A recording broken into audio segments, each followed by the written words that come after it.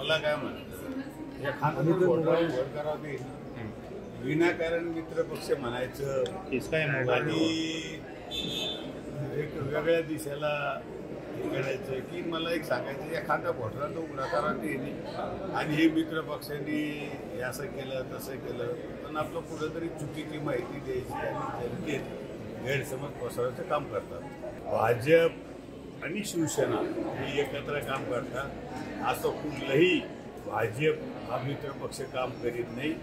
विनाकारण भाजपला बदनाम करण्याचं काम करतात म्हणून मला सांगायचं आहे की यांनी कितीही जरी सांगितलं तरी काही फरक पडणार नाही. युती ही मजबूत राहणार आहे आणि मजबूतीनं युती ही लागली